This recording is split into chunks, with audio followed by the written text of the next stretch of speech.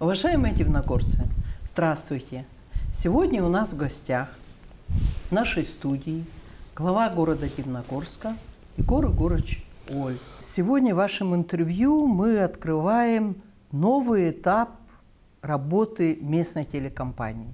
Но было бы грех не спросить, вообще, что вы по этому поводу могли бы сказать? То, что появилось новое средство массовой информации, это можно только приветствовать, я думаю. Только за счет этого канала мы охват увеличим значительно.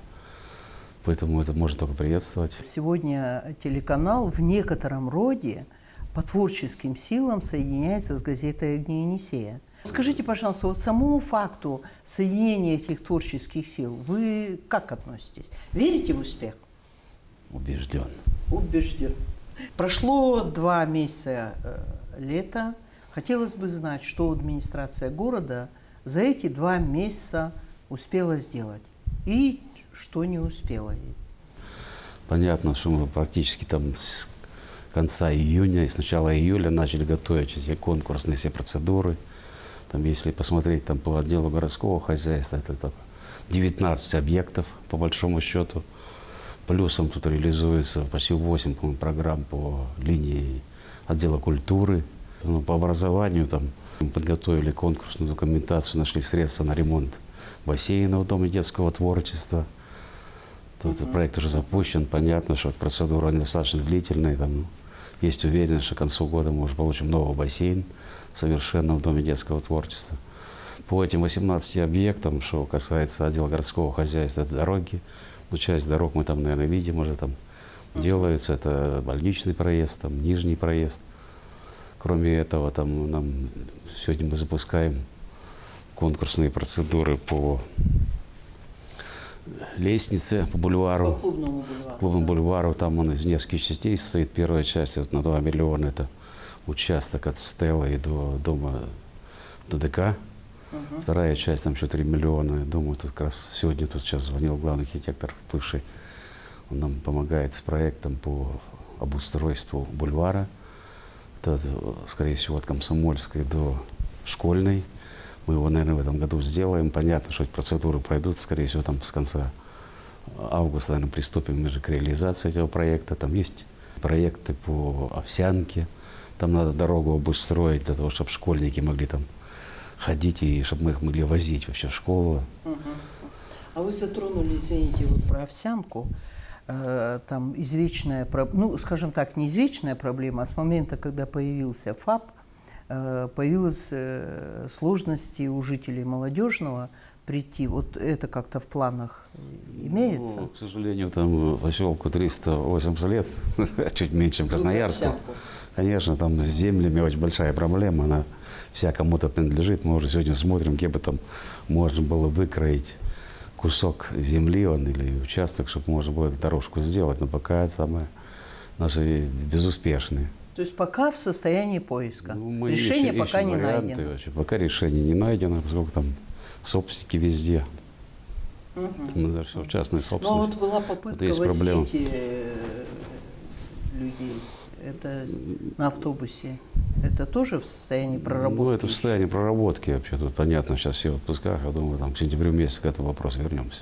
Культурная столица Красноярья, особая страница в жизни города Дивногорска. А, что уже принесло ну, я сказал, тут 8 городу. таких социокультурных проектов буквально тут на прошлой неделе я подписывал соглашение там о субсидировании этих проектов. Еще Понятно, сегодня мы занимаемся там эти конкурсами, всеми процедурами, в том числе там самое большое, я считаю, там замечательный детский городок поставим в Слизнево. Остальные проекты, они касаются там оснащения, там, библиотек, оснащения там, наших учреждений а культуры. Слизнева, дом, извините, а где это? Это в районе клуба будет. Тут другого места, по сути, там нет в Слизнево, поэтому я думаю, это будет востребовано. А как, как, какой период появится? До концу августа, я думаю, появится. Угу. Там есть некие А слизневцы вещи. вообще знают или только сейчас узнают? Да не, я думаю, знают, тем более там. Угу. Есть же у нас руководители клубных, клубного учреждения, учреждений, да, они, естественно, информируют население. Наверное, есть смысл сказать, что культурная программа э, или культурная афиша города Дивногорска значительно Ну, вот даже по расширилась. тому, кто к нам там, чаще э, стали кто к нам гости. приезжает, вы, наверное, ощущаете, вот на прошлой неделе буквально тут приезжали вообще хатовцы, будем говорить. Мгм. И, насколько я понимаю, там этот концерт прошел на ура. Там при полном зале вообще это, это замечательно. Это около 190 мероприятий именно в рамках культурной столицы. Часть мы уже там провели, но основное, понятно, наверное, уйдет вообще на осень. То есть не будь мы культурной столицей, к нам такого количества гостей, безусловно, бы не Ну, Скорее приехало. всего, конечно, да. А вот жителей города всерьез волнует вопрос, почему с 1 июля текущего года тарифы на тепло нижней застройки повысятся более чем на 14% при предельном индексе 4,4, Ладно. а верхней застройки Давайте на так, 9%. Уменьшится на 9. Уменьшится, да, совершенно верно, да. Ну, во-первых, тут мы все время, уже с 92 года, вообще-то 24 года вообще, мы, наверное, помним, что тарифы по верхней застройке у нас практически по горячей воде и по теплоснабжению были на 30, иногда даже больше, боль выше, чем внизу. Процентов, да? Конечно. Поэтому с учетом того, что в прошлом году мы забрали муниципальную собственность, обанкроченные Дивногорск тепловые сети, с 1 июля у нас единый тариф. Что касается предельного индекса, это понятно, это указ губернатора. Тут мы вряд ли с населения что-то больше возьмем, да и, наверное, ни к чему. Поэтому, что касается тарифов, поскольку тут то, что свыше 4%, там уже иной механизм включается, так называемые попадающие доходы. Я думаю, тут двумя предложениями вряд ли тут объясню вообще, только смуту внесу. Поэтому давайте так, мы это и в газете публикуем, очень популярно. Более подробно. Очень подробно. И я думаю, тут в следующей неделе Раиса Мансуровна пригласите, вообще она как раз по этим тарифам всю эту раскладку даст вообще. Ну, а в сущности приведено в соответствие, и, в общем-то, справедливость восторжествовала. Ну да, по большому Потому счету, что да. один маленький город, а люди, По большому а счету, тарифы да. были, а так разнились, точнее. Газета «Огни Енисея» сообщала, что попытка изменить практику платежей за тепло не реализовалась, что называется. Э, А я о чем я говорю? Э, Было принято постановление о том, чтобы платили мы не по одной двенадцатой, то есть круглый год платили, а платили по одной девятой. Ну, эта тема, она давно дискутируется, если там обратиться даже на уровне федерации, перейти на прямые платежи общенаселения ресурсоснабжающим организациям. То есть Поскольку каждый сегодня человек огромные, огромные неплатежи вообще. Ну, на уровне э, Думы и государственной там пока такое решение не принято. Там было установлено, что с 1 июля мы должны вот платить именно по факту потребления ресурсов. Понятно, когда вот там платишь одну двенадцатую, это проблемы некие создает, поскольку ресурсоснабжающая организация счета выставляет управляющим компаниям по факту потребления, а деньги собираются потом. Это риски. Её долг всегда. Это риски, она все время в должниках вообще. Это понятно, наверное, логика. Мы тут долго готовились, но, к сожалению, там это понятно, наверное, население не восприняло. И буквально 29 июня, обращаю внимание, это буквально за два дня до 1 июля, вот это постановление было отменено. То есть сейчас Понятно. будут платить как прежде. Понятно, мы понимаю? получили эти бумаги, там мы знали об этом, что это должно быть вроде. Тем более нас, когда спрашивали, я вообще э, возражал против этой схемы там, перехода по факту расчета. Сколько к этому надо людей вообще готовить. Это не так просто, не в один день. Поэтому мы буквально самое, как 7 там, или 8 июля получили эти документы. По-моему, даже в огнях Енисея мы просили вас напечатать. Да, да, да, да, да. Это Да, текст, да. что оставляется старая схема, там расчеты там, по 1,12. То есть платить будут круглый год равными Круглый год долями. Равными долями, понятно, с пересчетом в конце года именно по факту потребленных ресурсов. Поскольку мы затронули тему коммунальных служб, э, наверное, дивногорцам не безинтересно знать ваша оценка работы коммунальных служб города. Как вы, глава города, оцениваете их работу? С 1 июня буквально вообще, городской водоканал он стал муниципальным предприятием.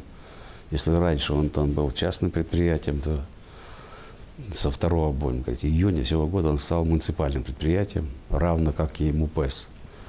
То есть в этом плане тут, я думаю, тут преимуществ намного больше, чем недостатков.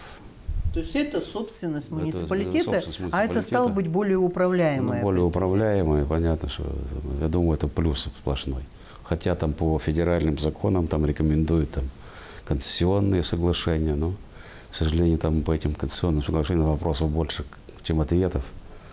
Тем более там этот закон, по-моему, 416, он был принят буквально 29 декабря 2015 года. Кроме негатива вообще эти законы ни- никого не вызывали.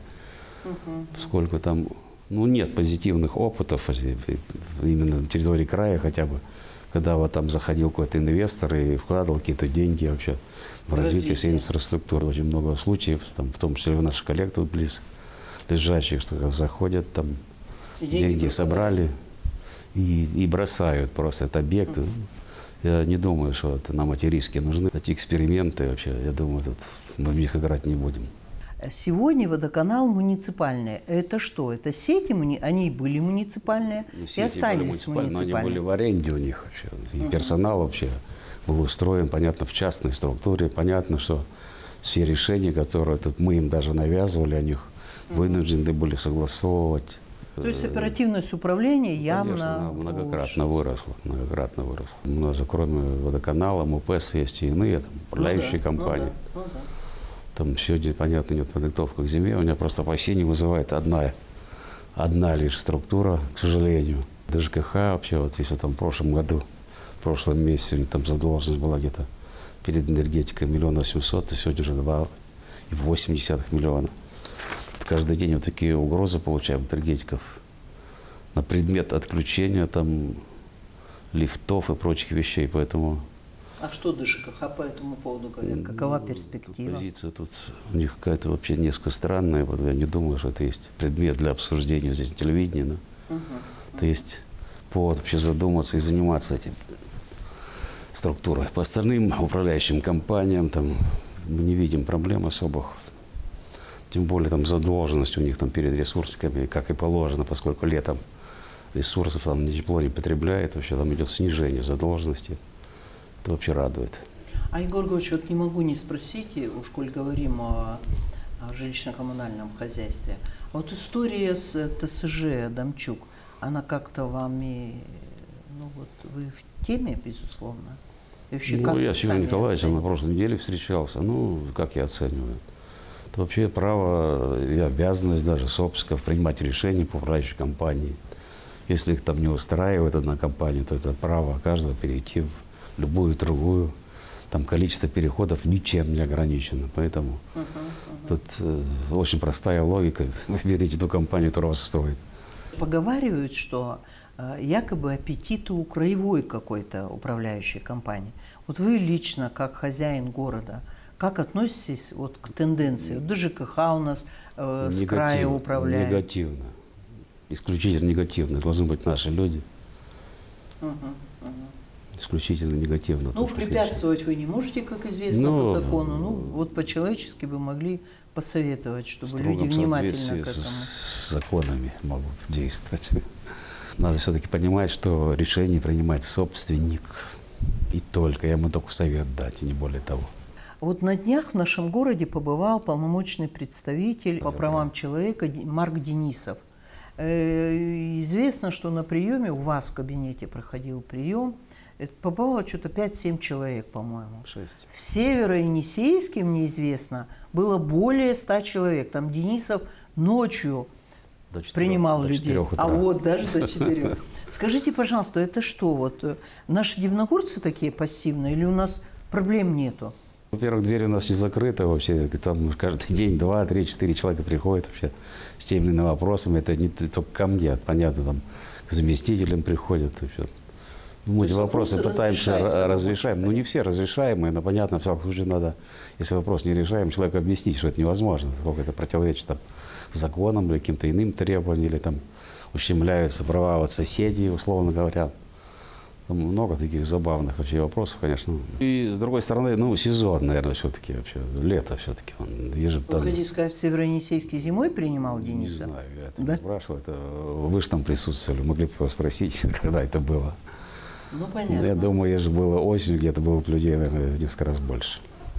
То есть вы считаете, что, безусловно, у людей был бы интерес, но Ну, сдержано было сезонными Там из шести факторами. человек, там именно по сути, именно э, той деятельности, которой он занимается, там обратился только один человек вообще. А то, что касается там иных этих там вещей, там по многодетным, там понятно, это исключительно наши полномочия. Там. Они- он, он такие вопросы не, не решает вообще. Ну, будем считать, что у нас проблем нету. Давайте Ну, с этим проблемы согласимся. есть у всех Или не так много. Не так много Или не так много. Не есть и будут.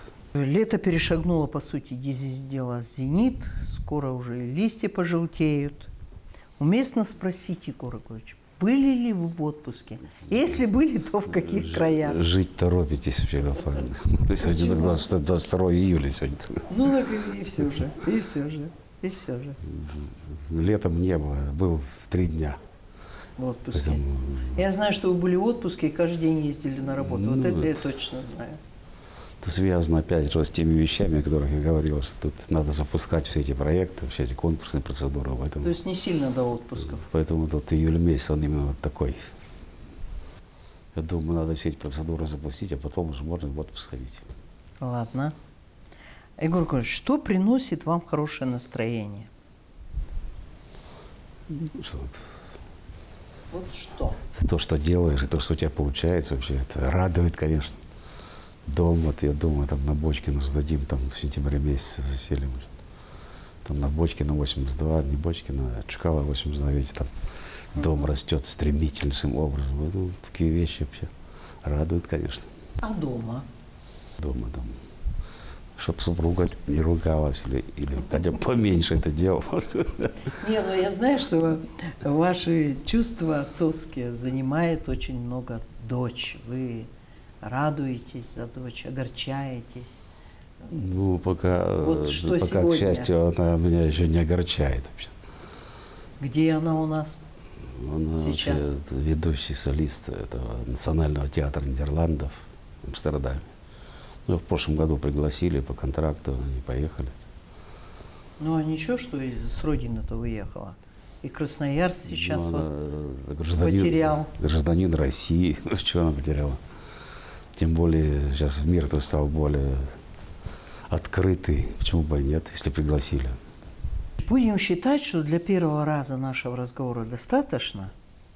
Э, Могу ли я надеяться, что мы будем встречаться в студии регулярно, найдем различные способы или поводы, точнее. Это может быть ответы на вопросы, которые соберет Да, редакция. ради, я тут Это готов, может быть по каким-то актуальным вопросам. Вы не станете возражать, если мы в студию будем приглашать ваших подчиненных, руководителей служб. Надо приглашать, надо. Ладно. Чтобы из первых уст. Это, во-первых, и наших коллег стимулирует. Спасибо. И люди будут зрить, кто там, за что у нас отвечает, чем занимается. Да, да хоть в лицо будут знать. Конечно. Да, я думаю, это тоже дело не последнее. Спасибо, удачи вам. Спасибо всем. Рада вас видеть. Смотрите наш местный телеканал. Думаю, что наш разговор был не бесполезным. Вот мы с Егором Егоровичем договорились, что такие встречи будут системными. Пожалуйста, пишите, звоните в нашу редакцию. Всего вам доброго. Будьте здоровы.